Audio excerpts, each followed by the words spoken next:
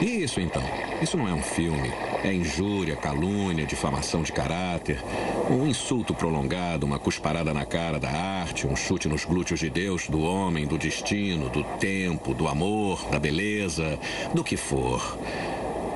Eu vou cantar para você, meio desafinado talvez, mas vou cantar. Cantarei enquanto você bate as botas, dançarei sobre o seu cadáver imundo. Viram o Boris? É. Foi encontrar alguém que aluga o apartamento. Empresta cinco francos para eu poder ir de táxi até São Lazar.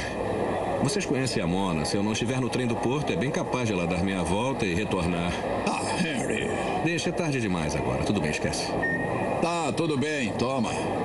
Aqui. Ela se ergue de um mar de rostos e me abraça, me abraça apaixonadamente.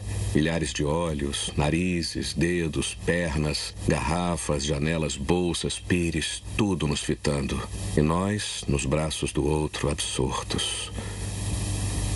Eu me sento ao lado dela e ela fala, uma torrente de palavras, notas selvagens e destrutivas sobre histeria, perversão e leprosidade.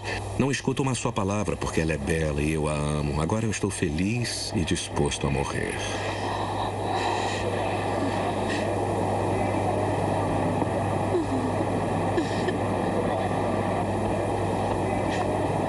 O hotel, onde fica? Podemos ir pro hotel agora?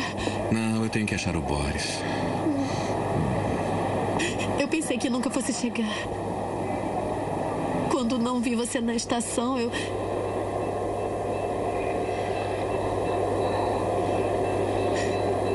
Oi, Boris! Harry, como vai? Prazer em vê-lo.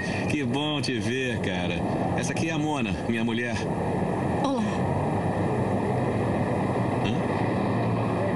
Olá. Ah, não. Meu cheque não chegou, eu não recebi. 20 francos? Pode acreditar, é tudo que eu tenho comigo, rapaz. Toma, eu lhe dou metade do que eu tenho. Aceite. Por favor, Boris. Só. só dessa vez. Ah, está bem. Toma. Ah, obrigado. Tá. Agradeço muito. viu? Tá, claro. Certo, Muito certo, obrigado. claro, claro. Tá. Foi um prazer. A gente se vê, Boris. Adeus, Harry. Tchau.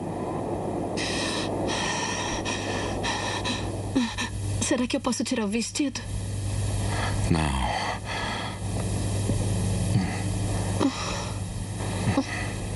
Oh.